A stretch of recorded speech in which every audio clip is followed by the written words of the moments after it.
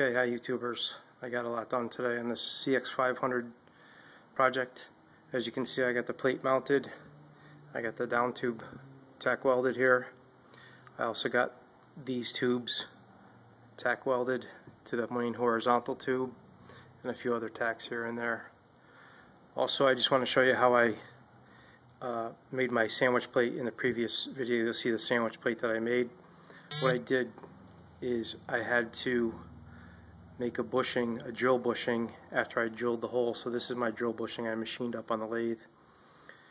What I did is I drilled this hole half inch. I located the holes first. I transfer punched them from the plate. I made sure everything was in center and square. And in turn, I machined this up. Uh, it was it's a half inch hole, and I kind of press fit it in here, and I was able to again transfer punch on the other on the back side of this this housing or whatever it's called, the lower swing arm, uh, just to make an indentation. And then what I did is I took a drill that fit pretty tight in here and drilled a pilot hole for underneath. And then after that, I followed through with a, a half inch drill. And believe it or not, it all lined up pretty good. I just had to finesse a couple holes, which was no big deal. I actually just had to reach in for the holes to get some clearance. And it's all sandwiched together now, as you can see. Um, I'm very happy with it. The upper tank mount, not the tank mount, but the racket for the shock is also fully welded onto the down tube, STIG welded. And I also made some gussets down here as well on each side from my bracket.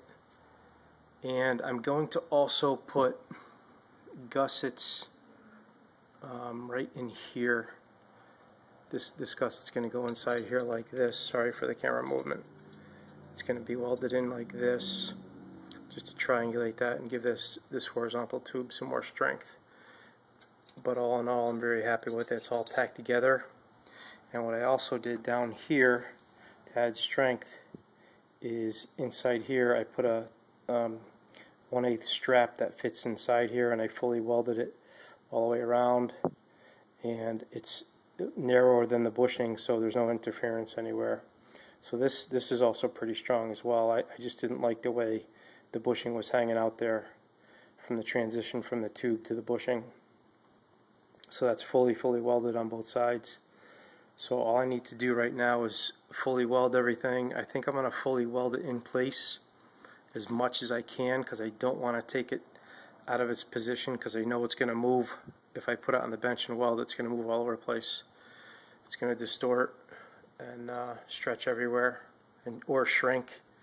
So I just don't want to go through that hassle, and I know it's still going to shrink a little bit, but we should be good to go. I'm, I ran out of argon, so tomorrow's Monday. I'm going to get some more argon, and uh, I went through quite a bit of argon with other projects as well.